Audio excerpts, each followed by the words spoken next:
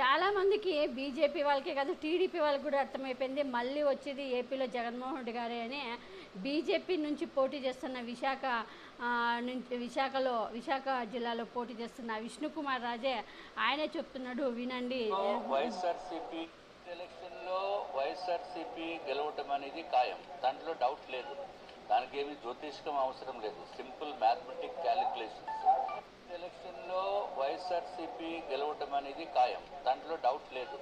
దానికి ఏమి జ్యోతిష్కం అవసరం లేదు. సింపుల్ మ్యాథమెటిక్ క్యాలిక్యులేషన్ విన్నారుగా ఈయన బీజేపీ నుంచి ఇప్పుడు పోటీ చేస్తున్నాడు ఎమ్మెల్యేగా. వీళ్ళకి కూడా అర్థమైపోయింది. మళ్ళీ ఏపీలో వచ్చేది జగన్మోహన్ రెడ్డి గారే. దీనికి జ్యోతిష్ కాల్ జ్యోతిషము క్యాలిక్యులేషన్లు ఏం అవసరం లేదు.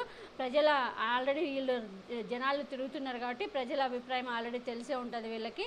కాబట్టి ఈయన ఆల్రెడీ ముందే చెప్పేస్తున్నాడు. మేము నేను బీజేపీ అయినా కూడా గెలిచేది ఏపీలో మళ్ళీ వచ్చేది కూడా వైఎస్ఆర్సీపీ పార్టీనే అని.